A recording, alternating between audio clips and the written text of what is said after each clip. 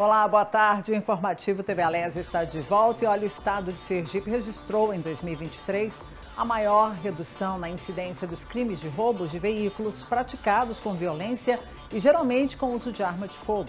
Os dados são do mapeamento feito pelo Ministério da Justiça e Segurança Pública. A queda registrada no estado foi de 51,8% comparado a 2022.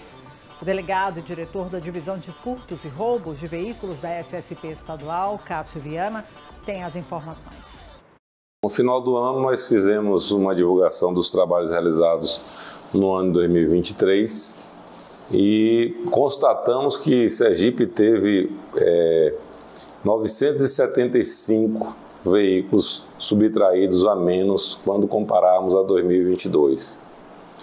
Já sabíamos naquela época que éramos o primeiro até o meio do ano em redução de roubo e furto de veículos no Brasil, segundo dados do próprio Ministério da Justiça.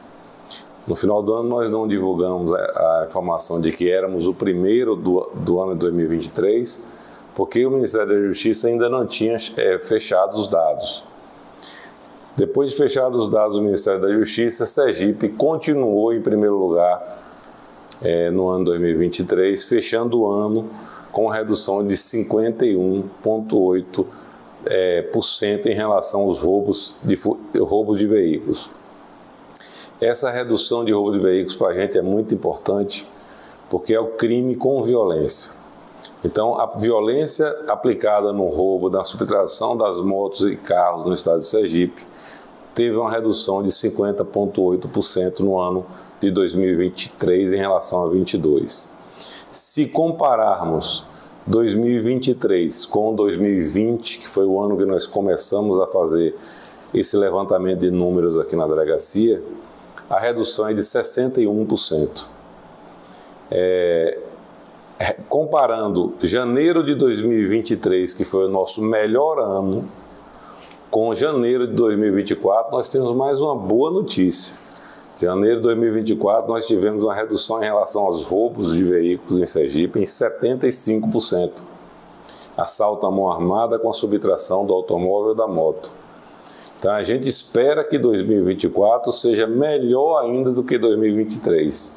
Se, está, se, se estávamos, estamos em primeiro lugar em redução de roubo e furto de veículos no Brasil, e se a gente continuar o ano como foi janeiro de 2024, nós não só conseguiremos é, manter a, a posição de melhor do Brasil na redução, mas bateremos nosso próprio recorde. É esse o trabalho que a Polícia Civil vai tentar fazer junto com a Polícia Militar, Polícia Rodoviária Federal, com apoio das perícias, apoio da, da, Polícia Penal, obviamente com o Judiciário e o Ministério Público também inserido nesse processo de persecução penal, colocando atrás das grades aqueles elementos que praticam esse tipo de crime, desestimulando essa prática criminosa no estado de Sergipe.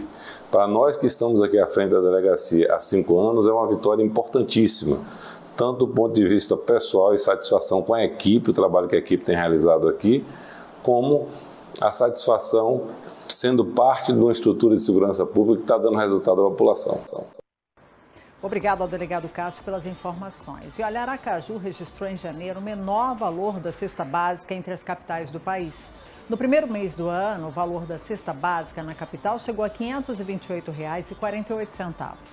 Os dados foram divulgados pela Secretaria Especial de Planejamento, Orçamento e Inovação por meio do Observatório de Sergipe tendo como base as informações da Pesquisa Nacional da Cesta Básica de Alimentos, realizada pelo Departamento Intersindical de Estatística e Estudos Socioeconômicos, o DIES.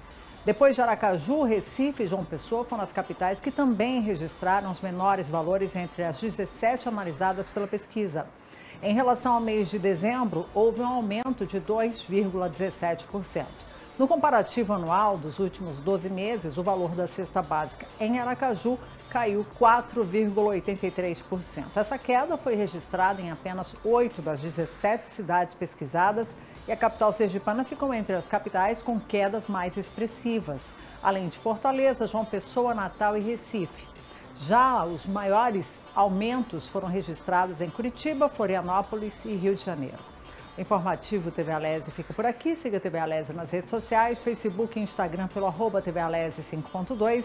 No Twitter, arroba TV Alese, para acessar o nosso canal no YouTube é super fácil.